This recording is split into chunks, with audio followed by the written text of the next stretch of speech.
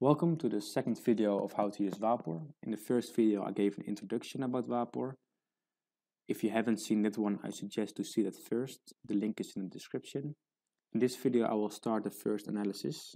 Uh, I will do that by area time series. Area time series means you'll get values over a period uh, for your own data, what you want for your own area. In this example, I want to I want to have evapotranspiration data and my area is a sugar, sugarcane scheme located in Ethiopia. First you need to go to scale levels for your own area because uh, now the largest scale level is active, continental. Uh, Ethiopia is also available on 100 meters. You can see that right here. However, the area, mine area is even also available in 30 meters because my area is located in the Awash Basin and that one is also available on WaPOR. So I go to the 30 meters layer of the Awash in Ethiopia. My area is located here. So uh, now we can start our first analysis. So I go to the left corner, you click on analysis you click on select operation and now you have four options. Point time series that means you will get a time series for one specific point. Area time series that means you will get an average value uh, of your whole area.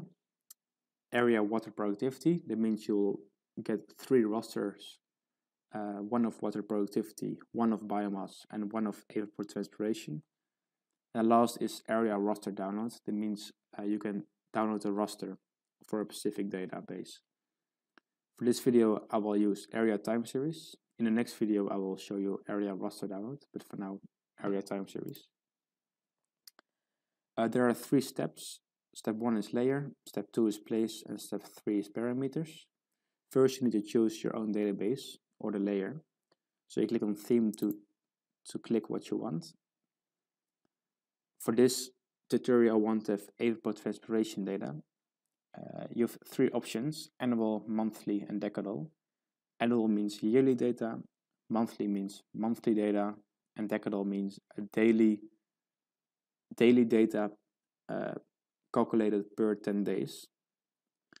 For this example, I want to have yearly data, so I click on annual. Then you can then you need to active uh, one layer for what you want. Uh, for this example, I want an area time series from 2009 to 2019. So it doesn't matter which layer you choose, but for now I, I just click on 2009. Then you go to step two, the place, select area.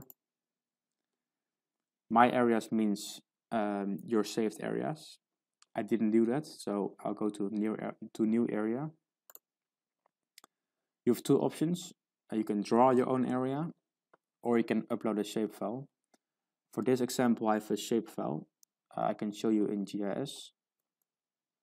So this is the scheme um, what I want to upload on WaPOR. And you need to do that by create a zip file of the shapefile. So you need to go to folders, to your saved shapefile. I saved it in downloads and I called it tutorial example. So you need to make a zip file uh, by doing this. You need to select all files. Click on 7-zip and click on to create a zip file. So now I have a zip file uh, including the save file. So I go back to WaPOR, upload shapefile.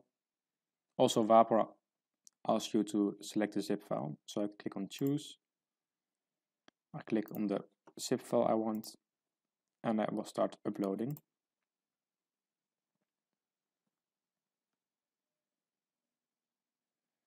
Now WaPOR asks you, is this your uh, right area? It is, so I can confirm geometry. And I go to the last step, parameters. That's the period of the data you want.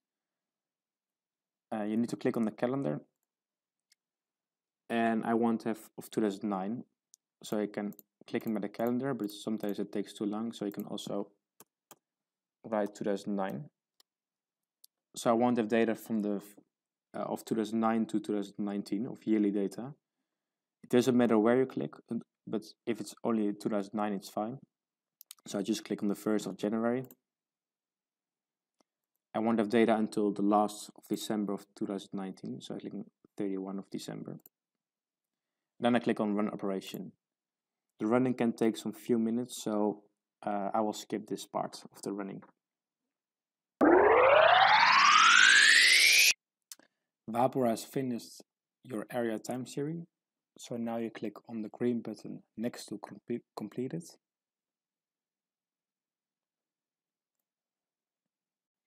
So this is your area time series uh, of yearly evapotranspiration data of your own area, so from 2009 to 2019. The blue means the maximum pixel uh, of your area and also the minimum. And the orange line is the average of your, of your own area. If you want to have this data in Excel, you can also download the CSV. You can do that by clicking the chart context menu and download the Excel file.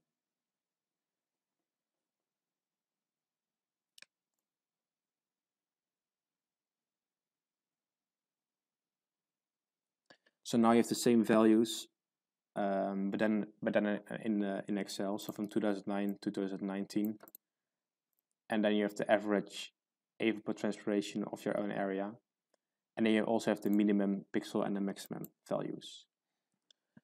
So this was an example of an area time series. Um, you can also do the point time series. Uh, it's exactly the same. However, uh, you won't have a minimum or maximum, but only the the, the point data of your own points. So in the next video, I will download raster files. And um, so for now, it was the area time series.